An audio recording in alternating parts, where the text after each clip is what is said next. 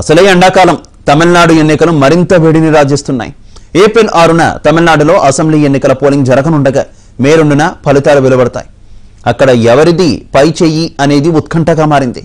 ఎన్నికలకు ముందే సర్వే సంస్థలు ప్రజల నాడిని తెలియజేయడం మామూలే. తమిళనాట ఈసారి గెలిచేది ఎవరో సర్వేల్లో తేలిపోయింది. దాదాపు డెబ్బై శాతం సర్వేలు తమిళనాట ద్రవిడ మున్నేట్ర ఖనిజం డిఎంకేదే విజయం అంటూ చాటుతున్నాయి. తాజాగా ఏబీపీ సి ఓటర్ నిర్వహించినటువంటి ఒపీనియన్ పోల్ సర్వేలో అదే తేలడం విశేషం. స్టాలినే సీఎం కావాలని మెజార్టీ ప్రజలు కోరుకుంటున్నట్టు తెలుస్తోంది. తమిళనాడులో గత పదేళ్ళుగా అనాడిఎంకే అధికారంలో ఉంది. ఈసారి అక్కడ అధికార మార్పిడి జరగడం ఖాయంగా కనిపిస్తోంది.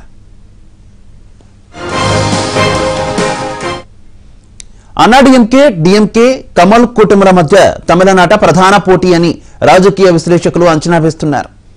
హైదరాబాద్ పార్టీ మజ్లిస్ రంగంలోకి దిగినా దాని ప్రభావం ఎంత ఉంటుందనేది ఇంకా తేలలేదు.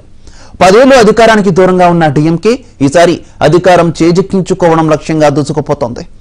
అంత ఆసక్తిగా ఎదురు చూస్తున్న వేళ మార్చి పదిహేడవ తేదీన ఏబీపీ సి ఓటర్ సర్వే ఫలితాలను వెల్లడించింది.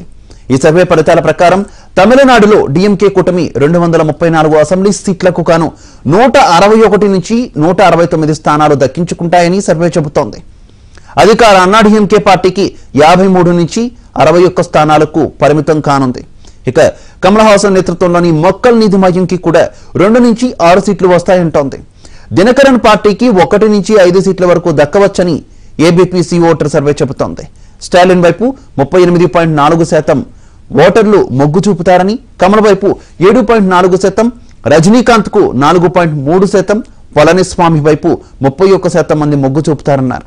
ఇక వికే శశికళకు మూడు పాయింట్ తొమ్మిది శాతం పన్నీర్ శర్మానికి రెండు పాయింట్ ఆరు శాతం అలాగిరికి అత్యల్పంగా ఒకటి పాయింట్ ఏడు శాతం మంది ప్రజల మద్దతుంది.